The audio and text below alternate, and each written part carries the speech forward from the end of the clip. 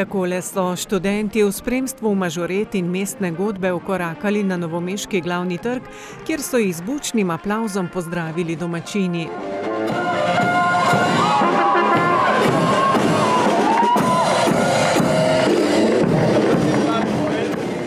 Koprska odprava je prehodila kar 200 km in premagala 2000 metrov višinske razlike, za kar so potrebovali šest dni. Nabrali smo polno žuljev, tudi zvite gležne, preganjali smo krave, res ni da ni izkušen in um, res predlagam, predlagam to odpravo vsem pohodnikom, uh, je ena nepozabna, nepozabno doživetje.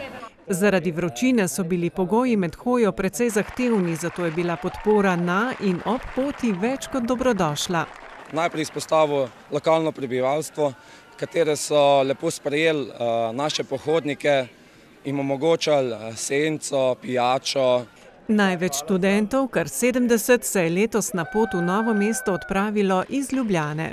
Vzdušje je bilo super, potem smo imeli še zabavo iz petka na sobote, vse normalno potekalo. Ne vem, no, vtisi so bili enkratni.